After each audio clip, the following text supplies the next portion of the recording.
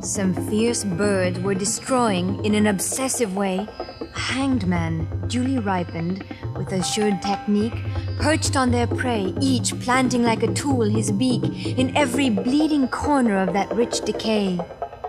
The eyes were holes, the heavy coil of entrails fell streaming onto the thighs from where the belly gaped, and, taking care no hideous delight escaped, those glutted bravos had unmanned their victim as well.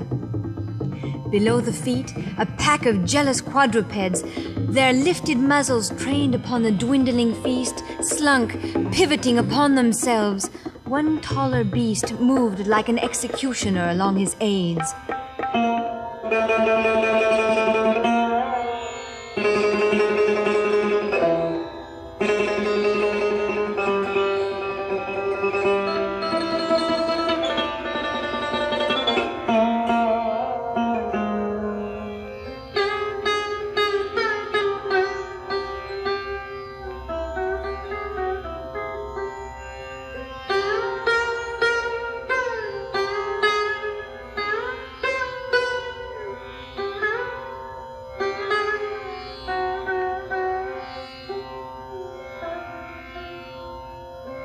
Son of Cythera, remnant of a world so brave, how silently, with your black hollow eyes of woe, you took these insults, paying for I do not know what shameful cults and sins, forbidding you the grave.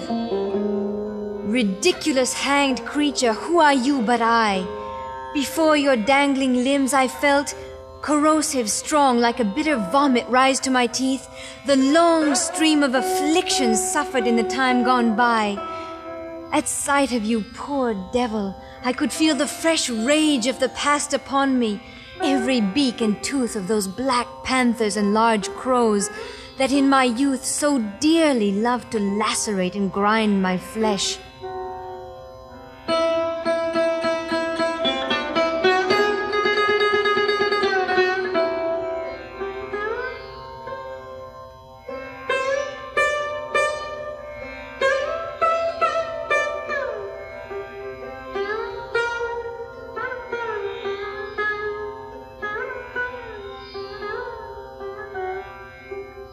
The sea was calm, the beauty of the sky complete, but from that moment, all was desolate to me.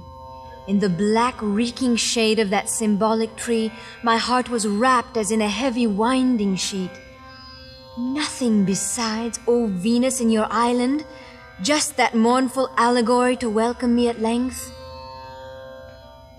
Almighty God! Give me the courage and the strength to contemplate my own true image without disgust.